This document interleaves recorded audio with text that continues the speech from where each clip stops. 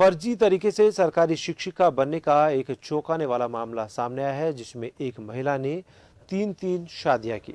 महिला ने पहले पति से तलाक लिया, दूसरे शादी कर ली। इसके बाद पहले पति की मृत्यु हो गई तो उसका मौत का प्रमाण पत्र बनवाकर विधवा कोटि से शिक्षिका बन गई।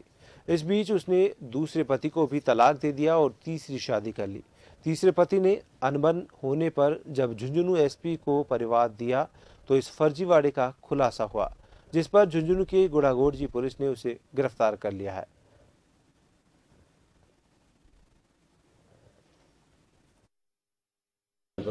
श्रीमान एस साहब के आदेश से एक मूल मंत्र हुआ था,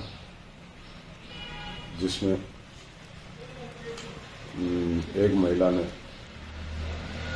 फर्जी प्रमाण पत्र करके नौकरी हासिल करने का करने के आशय से आशय का था जिसकी जाँच श्रीमान थानाधिकारी महोदय ने हम्म, जाँच शुरू की जिसमें पाया कि महिला ने तीन शादी की है। पहले पहले दोनों दोनों पति पतियों से तलाक हो गया। तीसरे पति से शादी की, उससे भी उसने चार सौ अठानवे का केस दर्ज करवा के उससे भी तलाक ले लिया। महिला मंजू देवी को कल दिनांक उन्नीस दो बाईस को